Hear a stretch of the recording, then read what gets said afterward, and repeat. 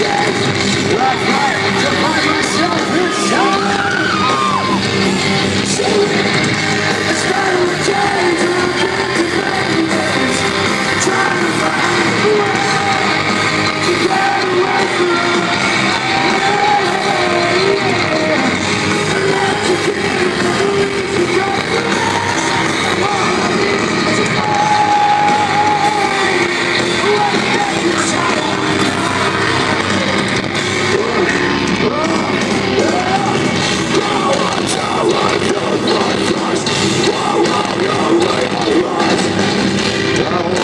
If you